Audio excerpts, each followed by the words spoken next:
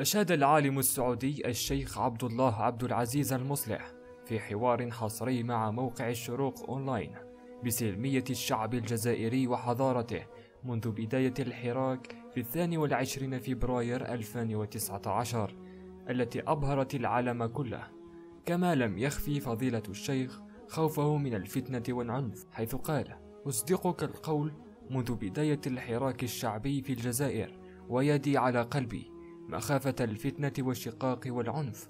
لكن الحمد لله سلمية الجزائريين وتحضرهم أذهل العالم. وأتمنى أن تتحقق مطالب الجزائريين وأن يحافظوا على سلميتهم ووحدتهم وبلدهم ويصلوا إلى بر الأمان. وما عدا ذلك أنا لا أحب أن أتحدث في السياسة لأني لست مختصا فيها.